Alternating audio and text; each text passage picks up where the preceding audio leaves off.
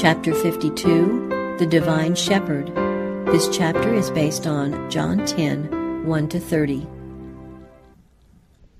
I am the good shepherd.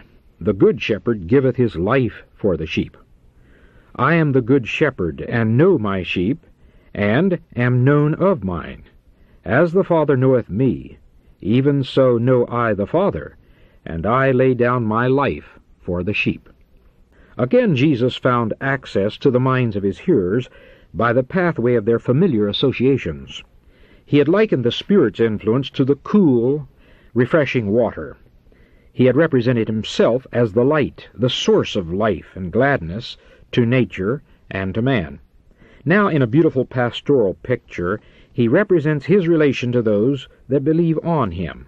No picture was more familiar to his hearers than this, and Christ's words linked it forever with himself. Never could the disciples look on the shepherds tending their flocks without recalling the Saviour's lesson. They would see Christ in every faithful shepherd. They would see themselves in each helpless and dependent flock. This figure the prophet Isaiah had applied to the Messiah's mission in the comforting words, O Zion, that bringest good tidings, get thee up into the high mountain. O Jerusalem, that bringest good tidings, lift up thy voice with strength. Lift it up, be not afraid. Say unto the cities of Judah, Behold your God. He shall feed his flock like a shepherd. He shall gather the lambs with his arm, and carry them in his bosom. Isaiah chapter 40, verses 9 through 11. David had sung, The Lord is my shepherd, I shall not want. Psalms the 23rd chapter, verse 1. And the Holy Spirit through Ezekiel had declared, I will set up one shepherd over them, and he shall feed them. I will seek that which was lost, and bring again that which was driven away, and will bind up that which was broken, and will strengthen that which was weak. And I will make with them a covenant of peace, and they shall no more be a prey to the heathen, but they shall dwell safely, and none shall make them afraid. Ezekiel chapter 34, verse 23, verse 16, verse 25, and verse 28. Christ applied these prophecies to himself, and he showed the contrast between his own character and that of the leaders in Israel. The Pharisees had just driven one from the fold because he dared to bear witness to the power of Christ. They had cut off a soul whom the true shepherd was drawing to himself. In this they had shown themselves ignorant of the work committed to them, and unworthy of their trust as shepherds of the flock. Jesus now set before them the contrast between them and the Good Shepherd, and he pointed to himself as the real keeper of the Lord's flock. Before doing this, however, he speaks of himself under another figure. He said, He that entereth not by the door into the sheepfold, but climbeth up some other way, the same is a thief and a robber. But he that entereth in by the door is the shepherd of the sheep. The Pharisees did not discern that these words were spoken against them. When they reasoned in their hearts as to the meaning, Jesus told them plainly, I am the door. By me, if any man enter in, he shall be saved, and shall go in and out, and find pasture. The thief cometh not but for to steal, and to kill, and to destroy. I am come that they might have life, and that they might have it more abundantly. Christ is the door to the fold of God. Through this door, all his children from the earliest times have found entrance. In Jesus, as shown in types, as shadowed in symbols, as manifested in the revelation of the prophet, as unveiled in the lessons given to his disciples, and in the miracles wrought for the sons of men, they have beheld the Lamb of God, which taketh away the sin of the world. John chapter 1, verse 29. And through him they are brought within the fold of his grace. Many have come presenting other objects for the faith of the world. Ceremonies and systems have been devised by which men hope to receive justification and peace with God, and thus find entrance to his fold. But the only door is Christ, and all who have interposed something to take the place of Christ, all who have tried to enter the fold in some other way, are thieves and robbers. The Pharisees had not entered by the door. They had climbed into the fold by another way than Christ, and they were not fulfilling the work of the true shepherd. The priests and rulers, the scribes and Pharisees, destroyed the living pastures and defiled the well springs of the water of life. Faithfully do the words of inspiration describe those false shepherds. The diseased have ye not strengthened, neither have ye healed that which was sick, neither have ye bound up that which was broken, neither have ye brought again that which was driven away, but with force and with cruelty have ye ruled them. Ezekiel chapter 34, verse 4. In all ages, philosophers and teachers have been presenting to the world theories by which to satisfy the soul's need. Every heathen nation has had its great teachers and religious systems offering some other means of redemption than Christ, turning the eyes of men away from the Father's face and filling their hearts with fear of Him who has given them only blessing. The trend of their work is to rob God of that which is his own, both by creation and by redemption. And these false teachers rob man as well. Millions of human beings are bound down with false religions in the bondage of slavish fear, of stolid indifference, toiling like beasts of burden, bereft of hope or joy or aspiration here, and with only a dull fear of the hereafter. It is the gospel of the grace of God alone that can uplift the soul. The contemplation of the love of God manifested in His Son will stir the heart and arouse the powers of the soul as nothing else can. Christ came that He might recreate the image of God in man, and whoever turns men away from Christ is turning them away from the source of true development. He is defrauding them of the hope and purpose and glory of life. He is a thief and a robber. He that entereth in by the door is the shepherd of the sheep. Christ is both the doer and the shepherd. He enters in by himself. It is through his own sacrifice that he becomes the shepherd of the sheep. To him the porter openeth, and the sheep hear his voice, and he calleth his own sheep by name, and leadeth them out. And when he putteth forth his own sheep, he goeth before them, and the sheep follow him, for they know his voice. Of all creatures, the sheep is one of the most timid and helpless, and in the East the shepherd's care for his flock is untiring and incessant. Anciently, as now, there was little security outside the walled towns. Marauders from the roving border tribes, or beasts of prey from their hiding places in the rocks, lay in wait to plunder the flocks. The shepherd watched his charge, knowing that it was at the peril of his own life. Jacob, who kept the flocks of Laban in the pasture grounds of Haran, describing his own unwearied labor, said, In the day the drought consumed me, and the frost by night, and my sleep departed from mine eyes. Genesis chapter 31, verse 40. And it was while guarding his father's sheep that the boy David, single-handed, encountered the lion and the bear, and rescued from their teeth the stolen lamb. As the shepherd leads his flock over the rocky hills, through the forest and wild ravines, to grassy nooks by the riverside, as he watches them on the mountains through the lonely night, shielding from robbers, caring tenderly for the sickly and feeble, his life comes to be one with theirs. A strong and tender attachment unites him to the objects of his care. However large the flock, the shepherd knows every sheep. Every one has its name, and responds to the name at the shepherd's call. As an earthly shepherd knows his sheep, so does the divine shepherd know his flock that are scattered throughout the world.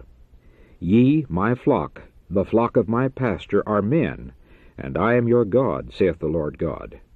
Jesus says, I have called thee by thy name, thou art mine.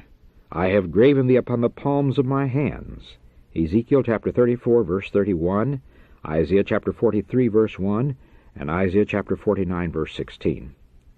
Jesus knows us individually, and is touched with the feeling of our infirmities. He knows us all by name.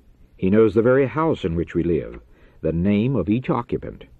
He has at times given directions to his servants to go to a certain street in a certain city, to such a house, to find one of his sheep. Every soul is as fully known to Jesus as if he were the only one for whom the Savior died. The distress of every one touches his heart. The cry for aid reaches his ear. He came to draw all men unto himself. He bids them, Follow me, and his Spirit moves upon their hearts to draw them to come to him. Many refuse to be drawn. Jesus knows who they are. He also knows who gladly hear his call and are ready to come under his pastoral care. He says, My sheep hear my voice, and I know them, and they follow me. He cares for each one as if there were not another on the face of the earth. He calleth his own sheep by name, and leadeth them out. And the sheep follow him, for they know his voice. The eastern shepherd does not drive his sheep. He depends not upon force or fear, but going before, he calls them. They know his voice, and obey the call. So does the Savior shepherd and his sheep. The Scripture says, Thou leddest thy people like a flock by the hand of Moses and Aaron. Through the prophet Jesus declares, I have loved thee with an everlasting love. Therefore with loving kindness have I drawn thee.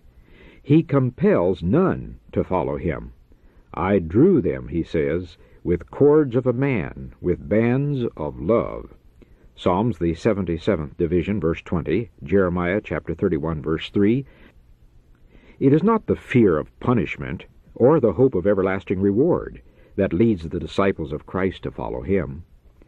They behold the Saviour's matchless love, revealed throughout his pilgrimage on earth, from the manger of Bethlehem to Calvary's cross, and the sight of him attracts, it softens and subdues the soul.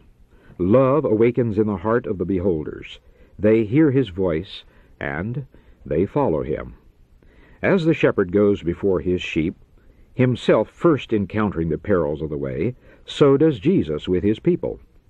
When he putteth forth his own sheep, he goeth before them.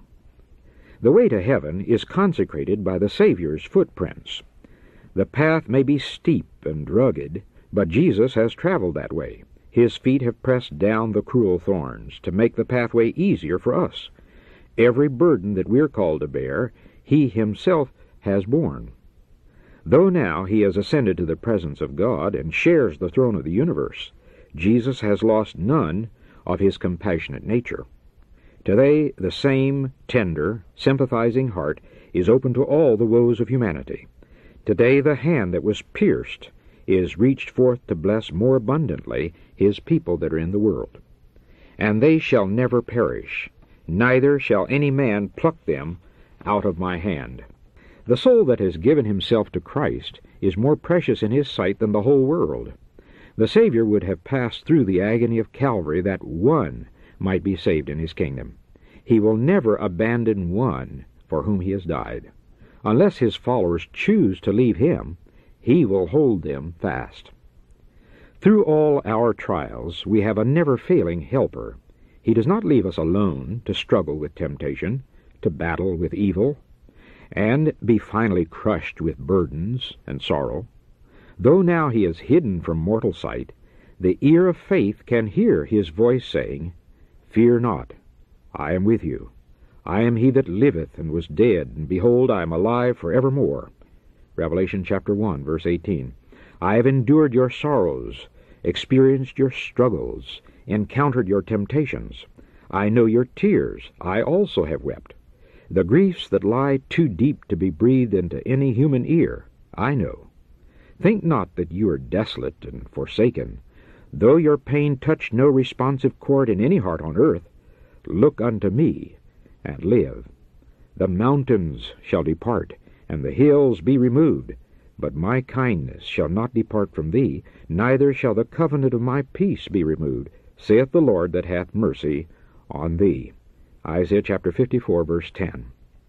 However much a shepherd may love his sheep, he loves his sons and daughters more. Jesus is not only our shepherd, he is our everlasting Father, and he says, I know mine own, and mine own know me, even as the Father knoweth me, and I know the Father. John chapter 10, verse 14 and 15, according to the Revised Version. What a statement this is! the only begotten Son, he who is in the bosom of the Father, he whom God has declared to be the man that is my fellow, Zechariah chapter 13 verse 7, the communion between him and the eternal God is taken to represent the communion between Christ and his children on the earth. Because we are the gift of his Father and the reward of his work, Jesus loves us. He loves us as his children. Reader, he loves you. Heaven itself can bestow nothing greater, nothing better. Therefore, trust. Jesus thought upon the souls all over the earth who were misled by false shepherds. Those whom he longed to gather as the sheep of his pasture were scattered among wolves. And he said, Other sheep I have which are not of this fold, them also I must bring, and they shall hear my voice, and they shall become one flock, one shepherd. John chapter 10 verse 16, Revised Version. Therefore doth my Father love me, because I lay down my life, that I might take it again. This is, my Father has so loved you, that he even loves me more, giving my life to redeem you. In becoming your substitute and surety, by surrendering my life, by taking your liabilities, your transgressions, I am endeared to my Father. I lay down my life, that I might take it again. No man taketh it from me, but I lay it down of myself. I have power to lay it down, and I have power to take it again.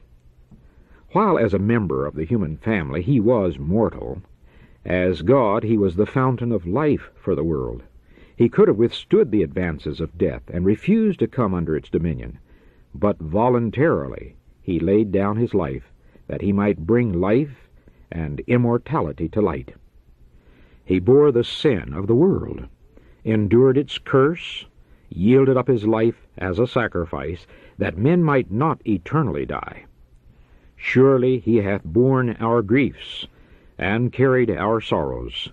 He was wounded for our transgressions, he was bruised for our iniquities. The chastisement of our peace was upon him, and with his stripes we are healed. All we like sheep have gone astray.